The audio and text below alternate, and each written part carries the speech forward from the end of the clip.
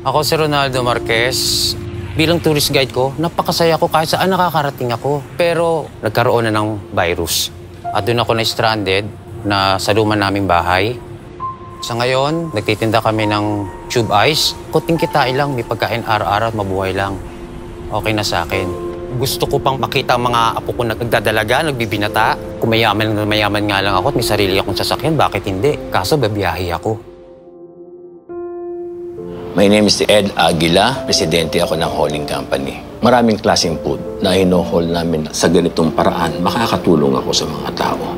Meron akong apat na anak, almost six months na kami hindi nagkikita. Desisyon ko yon na hindi kami magsama-sama para sa kanila to minimize the risk ng pandemic. Talagang napakahirap para sa isang magulang na mahiwalay yung mga anak mo.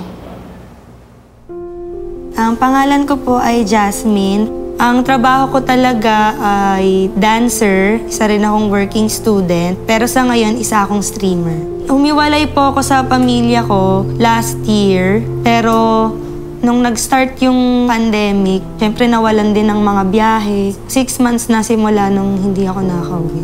Kahit na nakakaiwan naman ako ng message sa kanila, online. Pero iba pa rin kasi yung kapag kasama mo sila, alam mo talaga kampante ka na okay lang sila.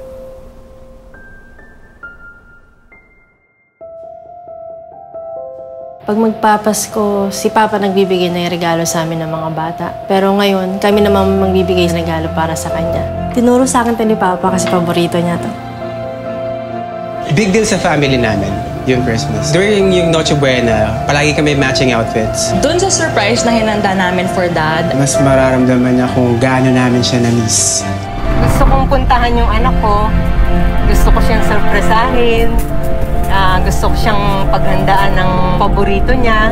Alam kong magiging masaya siya pag nakita ko. Nagulat ako, mayroong papatur sa akin ngayon. Hindi ko alam kung sino, pero ang saya, ang saya nito.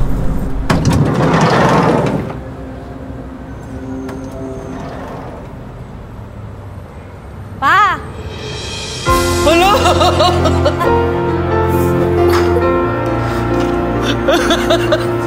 Parang ito ka!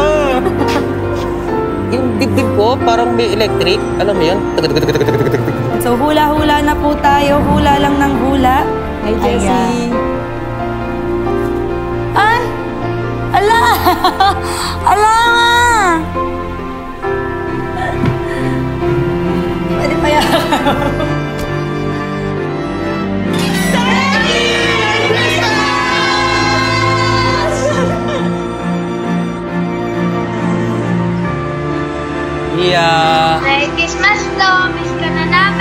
love you. I miss you.